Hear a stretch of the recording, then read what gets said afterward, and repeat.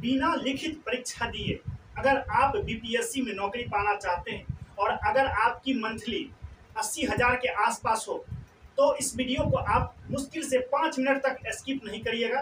मैं बहुत सारा जानकारी आपको दूँगा। एक ऐसी एग्ज़ाम एक ऐसी भर्ती, जो मतलब पूर्णता जो लिखित होती है बीपीएससी में, वो लिखित नहीं होने वाली। ऑब्जेक्टिव होगी। आइए देखते हैं। सबसे पहले मैं अपना नाम बता दूँ कि मैं मनीष कुमार। और स्वागत करता हूँ आपको अपना चैनल का कैरियर एग्ज़ाम कैरियर प्लानिट में। दोस्तों, सबसे बड़ी बात है कि जो बिहार लोक सेवा आयोग एक भर्ती ऐसी निकाल रही है, ये मतलब जनरली लोगों को पता नहीं रहता है। सबको पता नहीं रहता है, कुछ लोगों को पता रहता है और जिनको पता रहता है वो सिलेक्शन मतलब ले लेते हैं। जो मेहनत करेंगे तो सिलेक्शन उनका हो, होगा ही। देखिए, एक चीज़ और बता दें कि ये अगर आपके पास ये वीडियो पहुँच रहा किसी भी माध्यम से यूट्यूब के माध्यम से या कोई शेयर करे उसके माध्यम से तो आप सौभाग्यशाली हैं, क्योंकि ये वीडियो में जो बताएँगे वो जल्दी लोगों के बीच नहीं आता। वो लग, जल्दी लोगों के बीच नहीं आता। जो इसमें क्या है, बिहार लोक सेवा आयोग, आप बीपीएससी के ऑफ़िस में जॉब करिए। बीपीएससी के ऑफ़िस में आप जॉब करिएगा, आपका रहन सहन, उठना, बैठना जो होगा बड़े बड़े उच्च लेवल के पदाधिकारियों के साथ होगा। एस टी मतलब उसके बाद समझ रहे आई एस रैंक के अधिकारी आई पी एस रैंक के अधिकारी के साथ आपका उठना बैठना हो जाएगा, ठीक है? आप भी ऑफिसर हो जाइएगा। एक आप नाम सुने होंगे? ए एस ओ ए एस ओ वही पोस्ट है ये बीपीएससी के अंदर। A S O assistant section officer देखिए बीपीएससी ऑफ़िस का ये असिस्टेंट है। बीपीएससी ऑफ़िस का जितना भी कार्यभार है ये असिस्टेंट का कार्य है, ठीक है? असिस्टेंट का कार्य बीपीएससी ऑफ़िस में जो भी कार्यभार होता है असिस्टेंट का बीपीएससी में जो भर्ती होता है उसके बाद जो डॉक्यूमेंट वेरिफिकेशन भी होता, यही लोग सब करते हैं, ठीक है? उसके बाद पदों की संख्या, इसमें सबसे पहले हम पदों की संख्या बता दें कि 120 प्लस आएगा। ये जो पहले पोस्ट आती थी, ये छत्तीस, सैंतीस, चालीस, ये बहुत ज़्यादा इतना से ज़्यादा कभी नहीं आई चालीस से ज़्यादा कभी नहीं आई। मैं बता दूँ कि बीपीएससी टीयर टीयर वन का जो कार्य, आप देखिए बीपीएससी में टीचर का जो बहाली आया था T one tier one tier two tier three उसके बाद अभी जो भर्ती आने वाली है बीपीएससी टीचर का बीपीएससी सत्रहवीं बीपीएससी का, इसमें भी 1800 प्लस पोस्ट रहेगा। तो इसमें इस सबको, इस सब का तो कोई तो कार्य करने वाला ऑफ़िस होगा ऑफिसर होगा मतलब कोई तो असिस्टेंट होगा, सब तो ऑफिसर तो कार्य करेगा नहीं। तो उसमें असिस्टेंट की बहाली की बहुत ज़रूरी है।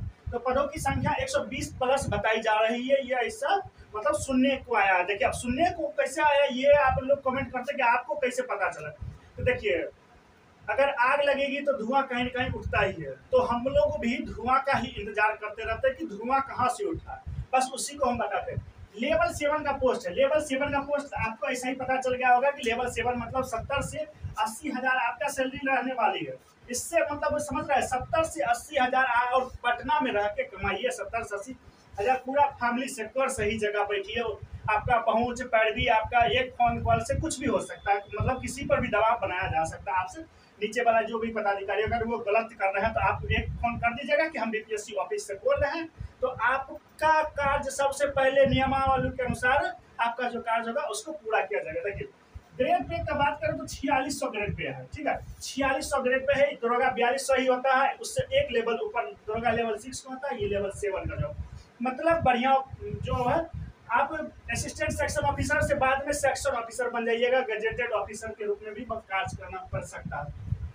उसके तैयारी करने का तरीका, जो बिहार असिस्टेंट में सबसे बड़ी बात होती है कि आप लोग को विचारेगा कि हम तैयारी कैसे करें। इसका तैयारी अगर इसमें भर्ती आ रही है, और एक बहुत ही आसान अपॉर्चुनिटी रहता है कि बिहार एसएससी में हम मतलब सॉरी बीपीएससी में हम सिलेक्शन ऑब्जेक्टिव माध्यम से कैसे लें? जो रेलवे की तैयारी कर रहे हैं, जो एसएससी का तैयारी कर रहे हैं तो उनके लिए बहुत बड़ी अपॉर्चुनिटी है। तो लिखित उनसे निकलेगा नहीं तो उनके लिए ये मौका है। देखिए तो बिहार एसएससी अगर सीजीएल की आप तैयारी कर रहे हैं तो उससे आपका हो जाए। Ten plus two Bihar SSC जो इंटर स्तरीय अभी भर्ती आई हुई है, उसका अगर तैयारी करें तो उससे भी हो सकता है। और बीपीएससी असिस्टेंट का आप तैयारी करेंगे तो सिलेबस वही है।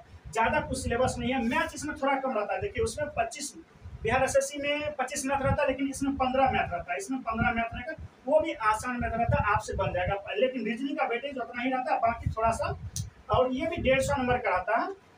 बाकी same syllabus Bihar S S C के पैटर्न पर है, Bihar S S ten plus two के पैटर्न पर है। इससे ज़्यादा मतलब अब एक सबसे बड़ी बात है कि भारतीय आखिर आ कब रही है? ये सब तो मैंने बता दिया, लेकिन सब आपको पता होना चाहिए कि भारतीय आ कब रही है, ये सबसे बड़ी बात है। तो भारतीय एक से डेढ़ महीने के अंदर आपको देखने को मिलेगा, यानी आप दुर्गा पूजा के आसपास कह सकते हैं कि इस भारतीय को देखा जाएगा।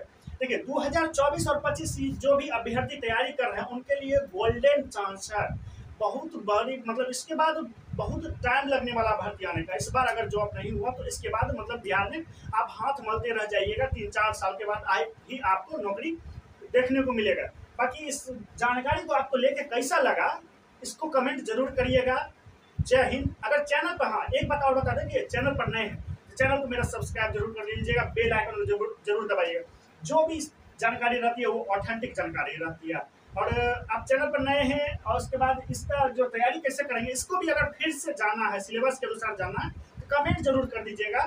ठीक है? जय हिंद।